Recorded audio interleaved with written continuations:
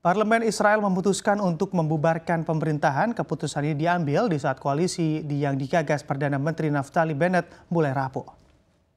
Nantinya akan digelar pemilihan umum untuk membentuk pemerintahan baru selama pemerintahan dibubarkan sampai terbentuk yang baru, posisi Perdana Menteri Naftali Bennett akan digantikan mitranya Menteri Luar Negeri Yair Lapid. Koalisi Bennett dan Lapid dibentuk pada Juni 2021 silam dan berhasil menumbangkan rezim Benjamin Netanyahu dan juga meski demikian, koalisi yang dibentuk oleh Bennett sangat rapuh diakibatkan luasnya spektrum politik partai yang bergabung mulai dari sayap kiri, liberal hingga Arab.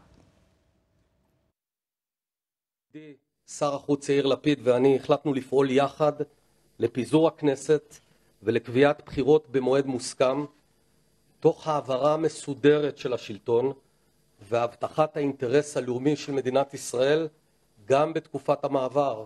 המדינה ממשיכה. בשבועות האחרונים עשינו את כל מה שניתן היה לעשות כדי לשמר את הממשלה הזאת, שבעינינו המשך קיומה הוא אינטרס לאומי. האמינו לי, הפכנו כל אבן. לא לכבודנו עשינו את זה, אלא לכבודה של הארץ היפה שלנו. לכבודכם, אזרחי מדינת ישראל.